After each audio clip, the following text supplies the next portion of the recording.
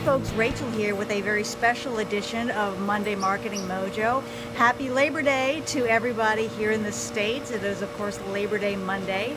And uh, my only tip to you today is eat, drink, and be merry. Enjoy your barbecues, enjoy your beach time, enjoy your road trip if you're traveling, enjoying some vacation, because when we get back to work tomorrow, it is going to be um, all hands on deck, all wheels on the ground because it's going to be a whirlwind of activity all the way through the holidays. It's a very busy time for most marketers. We've got a lot of trade shows, we've got a lot of initiatives we're trying to wrap up, and then of course we're also working on our content marketing strategies for 2017. So rest up today, work starts tomorrow. And if you have a moment, I invite you to check out my latest book, The Content Marketing Coach, at contentmarketingcoachbook.com.